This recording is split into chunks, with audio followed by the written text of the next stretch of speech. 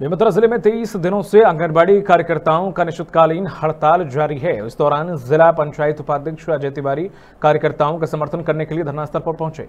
अजय तिवारी ने कार्यकर्ताओं की छह सूत्रीय मांगों का समर्थन करते हुए कहा कि सरकार इनकी मांगों को पूरा करे।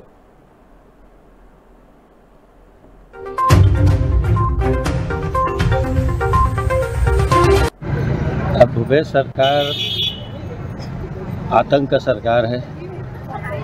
लबरे का सरकार है, झूठ बोल के सरकार बनाया है, महिलाओं को शराबबंदी के नाम से महिलाओं का वोट लेके बनाया है।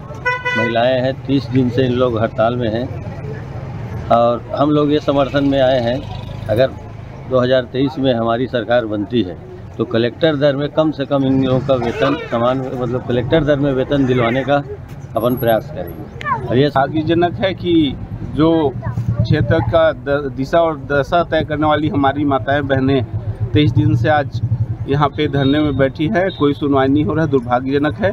आज बड़े भैया अजय तिवारी जी के नेतृत्व में गोयन पटेल जी के नेतृत्व में हम लोग महिलाओं को, आंगनवाड़ी कार्यकर्ताओं को समर्थन देने आए हैं।